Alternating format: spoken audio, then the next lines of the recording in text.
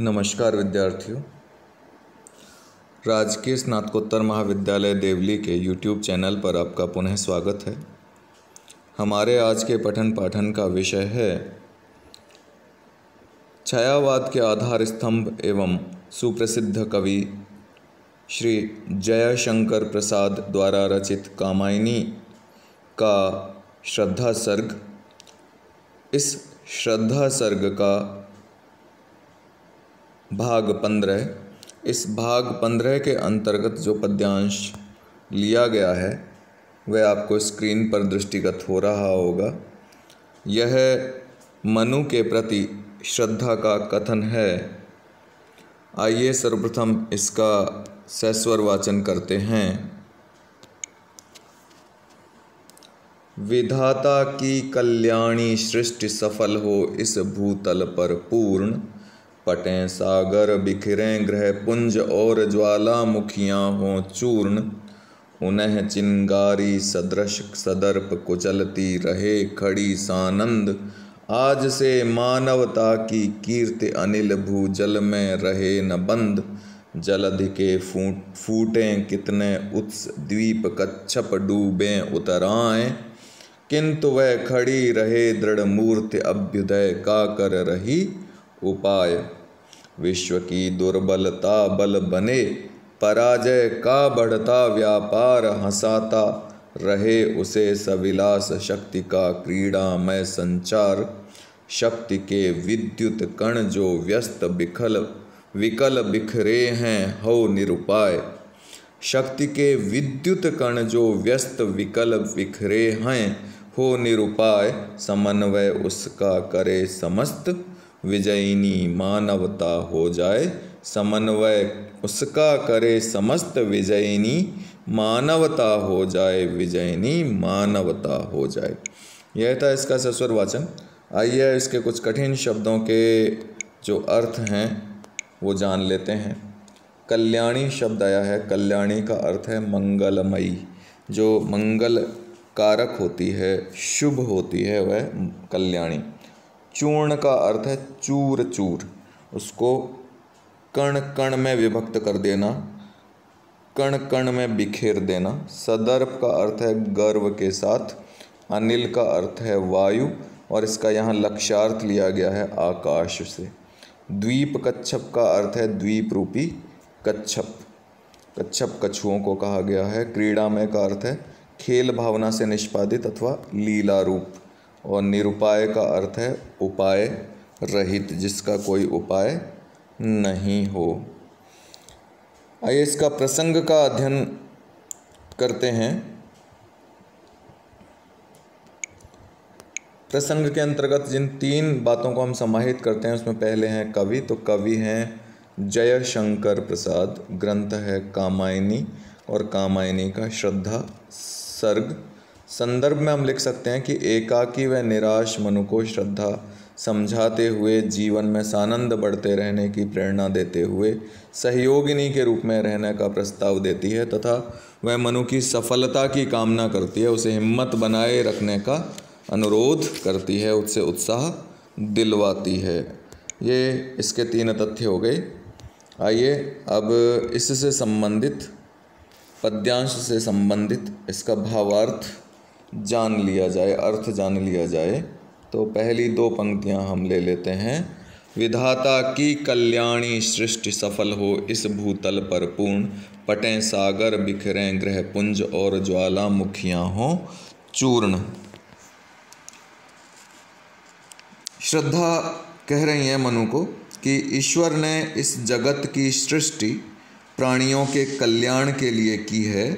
तुम्हारा सद सदुद्योग अथवा अच्छा उद्योग या अच्छा कार्य उस महान उद्देश्य की सम्यक पूर्ति में सहायक सिद्ध हो, अपने अभियान में तुम्हें विरोधी शक्तियों पर विजय मिले, तुम्हारे लोक मंगलकारी प्रयत्न में बाधक समुद्र पर कर स्थल बन जाएँ, मनुष्य के भाग्य पर प्रतिकूल प्रभाव डालने वाले जो अशुभ ग्रह हैं, उनका समूह छिन्न भिन्न हो जाए मानवता को संतप्त करने वाले ज्वालामुखी पर्वत चूर चूर होकर धूल में मिल जाएँ और तुम्हारा लक्ष्य निर्विघ्न सिद्ध हो जाए। तुम्हें अपना लक्ष्य प्राप्त करने में कोई बाधा नहीं आए। उन्हें चिनगारी सदृश, सदर्प कुचलती रहे खड़ी सानंद आज से मानवता की कीर्ति, अनिल भूजल में रहे न बंद। आगे श्रद्धा कह रही हैं कि मानवता के पुजारी तथा यश के अभिलाषी, मनस्वी वीर, उपयुक्त विघ्न बाधाओं को तुच्छ चिनगारी की भांति, दृढ़ता, गर्व एवं हर्षोल्ले, हर्षोल्लास के साथ, क्षमा कीजिए, हर्षोल्लास के साथ कुचलते हुए अविचल भाव से प्रशस्त पथ पर आगे बढ़ें। उनकी गति रुके नहीं, उनकी गति अवरुद्ध न हो, उनकी गति बाधित न हो मानवता की जो ख्याति पताका है, मानवता की प्रसिद्धि का जो ध्वज है, वह जल, पृथ्वी और आकाश में सर्वत्र निरंतर फहराता रहे, उसे कोई रोकने वाला न हो। जलधि के फूटें कितने उत्स द्वीप कच्छप डूबे, उतराएँ, किंतु वह खड़ी रहे, दृढ़ मूर्ति अभ्युदय का कर रही उपाय। आगे श्रद्धा कहती हैं कि घोर से घोर संकट की अवस्था में, प्रचंड तूफ़ान आने पर भी मानव जाति विचलित न हो। समुद्र के भीतर चाहे जितने उद्दाम स्रोत उमड़ पड़े, चाहे प्रलय का भीषण सागर फिर तरंगायित हो उठे और उसकी अपार जलराशि में द्वीप समूह कछुओं की भांति ऊपर नीचे होने लगें, डूबने उतराने लगें, प्रकट होने लगें, लुप्त होने लगें, लेकिन उस विषम परिस्थिति में भी मानवता की जो ठोस प्रतिमा है, वह उन्नति की दिशा में निरंतर प्रयत्न करती हुई अडिग रहे, लगातार बढ़ती रहे, नष्ट ना हो, उत्तरोत्तर मज़बूत होती जाए, उत्तरोत्तर शक्तिशाली होती जाए। विश्व की दुर्बलता बल बने, पराजय का बढ़ता व्यापार, हंसाता रहे, उसे सविलास शक्ति का क्रीड़ा में संसार। आगे श्रद्धा कहती हैं कि नवीन सृष्टि में समग्र संसार की दुर्बलता सबलता में परिणत हो जाए। यहाँ समग्र संसार से तात्पर्य मानव जाति से है, ठीक है? वे श्रद्धा चाहती हैं कि जो पूरे संसार में व्याप्त जो मानव जाति है, उसकी जितनी भी दुर्बलताएँ हैं, वे सब सबलताओं में परिवर, परिवर्तित हो जाएँ। वह अपनी कमजोरियों को त्याग कर अपने सामर्थ्य का परिचय दे। पराजय का जो सिमटता हुआ कारोबार है और समर्थ व उल्लसित मानव का खेल भावना से निष्पादित कार्यकलाप है, वह इस लोक को सदैव प्रसन्न व आह्लादित करता रहे, अर्थात मानव जाति अपनी कमजोरियों पर विजय प्राप्त करके पराजय को सीमित करते हुए अपनी खेल भावना से, निरपेक्ष खेल भावना से इस संसार को सदैव प्रसन्न चित्त बनाए रखे, इसके वातावरण को सदैव आनंददायक बनाए रखे। शक्ति के विद्युत कण जो व्यस्त विकल बिक, विकल बिखरे हैं हो निरुपाय समन्वय उसका करे समस्त विजयनी मानवता हो जाए। अद्भुत पंक्तियाँ हैं विद्यार्थियों। श्रद्धा कह रही हैं इस सर्ग के अंत में कि इस सृष्टि में शक्ति का अनंत प्रसार है। उसके विद्युत कण सर्वत्र फैले हुए हैं। परंतु वे विद्युत कण, वह शक्ति अलग अलग है, विकीर्ण है।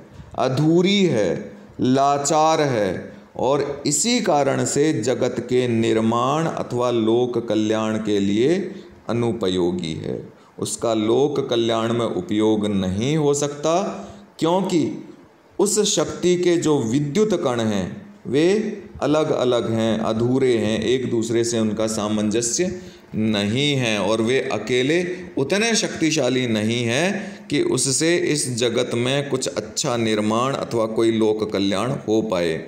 अतः आवश्यकता किस बात की है? आवश्यकता इस बात की है कि उन तितर बितर विद्युत कणों की छिटकी हुई, बिखरी हुई शक्ति को केंद्रित करके उस उन्हें उन्हें कार्योत्पादन में समर्थ बनाया जाए। श्रद्धा कह रही हैं कि मेरी कामना है कि मानव जाति शक्ति के उन कणों को एकत्रित करके उनमें पूर्णतः सामंजस्य तथा एक सूत्रता स्थापित करे, जिससे मानवीय आदर्शों की प्रतिष्ठा हो सके और इस प्रकार मानवता की विजय पताका अखिल विश्व में निरंतर लहराती रहे। तो बहुत ही सुंदर पंक्तियाँ श्रद्धा के और उसका अर्थ व भावार्थ भी उतना ही सुंदर। आइए, अब इस पद्यांश से संबंधित कुछ भाव पक्ष व कला पक्ष की विशेषताएँ जान लेते हैं। हम लिख सकते हैं कि श्रद्धा मनु को समझाती हुई उन्हें जागरूक व उत्साहित करने का प्रयास कर रही है और उनकी सफलता व मंगलमय भविष्य की कामना भी कर रही है। दूसरा हम लिख सकते हैं कि सागर, ज्वालामुखियाँ व ग्रहपुंज क्रमशः जल, थल और नभ में आने वाली विघ्न बाधाओं संबंधी विरोधी तत्वों के प्रतीक हैं। द्वीप कच्छप शब्द का प्रयोग हुआ है तो द्वीप कच्छप का जो रूप विधान है, वह एक गतिशील दृश्य बिंब की रचना करता है, जो विशेष रूप से आकर्षित करता है। प्रलय में अथवा अत्यधिक जल में द्वीप होते हैं, वह बिगड़ जाते हैं, बन जाते हैं, प्रकट हो जाते हैं, लिप्त, लुप्त हो जाते हैं। तो द्वीप कच्छप शब्द के प्रयोग द्वारा कवि ने उस कल्पना को साकार कर दिया है, मूर्त कर दिया एक दृश्य बिंब रचा है, जो न सिर्फ़ चाक्षुष है आँखों को, आँखों के प्रभाव में आने वाला है, बल्कि गतिशील भी है, गत्वर भी है। ये परियों, आ गया है, परियों की जगह आप पद्य पढ़ें। पद्यों की इस इकाई में प्रसाद जी की जो राष्ट्र भावना की अंतरधारा है, वह प्रवाहित है, और श्रद्धा की वाणी के माध्यम से भारतीय राष्ट्रवाद की जो तत्कालीन आशाएँ हैं, आकांक्षाएँ हैं, आत्मविश्वास है, मनोबल है, भविष्य है उसकी उस भविष्य के प्रति जो आस्था है उसका उद्घाटन किया गया है। और पूरे पद्यांश में उपमा व अनुप्रास अलंकार व्याप्त है। आज का ग्रह कार्य अंकित कर लीजिए जो बहुत ही साधारण है। पद्यावतरण में प्रयुक्त अलंकारों का नाम उल्लेख कीजिए। दो ही अलंकार थे पद्यांश में उनका नाम आप, आपको स्मरण रखना है। आज के लिए बस इतना ही। आप सब लोगों का बहुत बहुत धन्यवाद।